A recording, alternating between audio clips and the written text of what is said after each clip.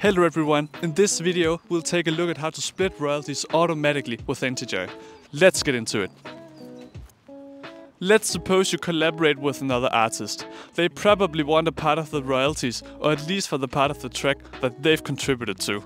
But how do you do this? Well, Antijoy has a feature that we call Teams. It allows you to set up splits for each track and artist individually. All you need to do is sit back and relax while we handle the payments. But what do they need to do? All they need to do is create a free Antijoy account. They don't even need a paid subscription, unlike with DistroKid. A new royalty report is made available each month. Then the royalties get reported for each track. After that, we split the royalties for each team member based on the percentage you've set for each member. Let's say someone produces an instrumental for one of your tracks and you've agreed that this person should receive a fixed amount of $200. Well, in this case, royalty splitting won't do any good. So what can you do?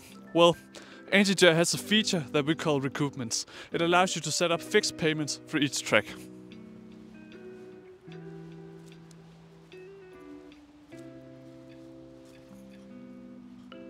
So let's say your track makes $500 in royalties one month. Then first and foremost, $200 will be paid to the recoupment and the rest of the $500 will be paid as usual.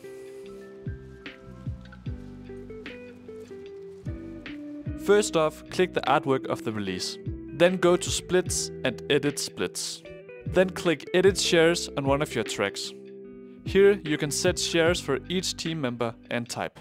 But before you can do this, you need to first invite some team members. To do this, scroll up and click Invite Member. Here, simply input their email and type.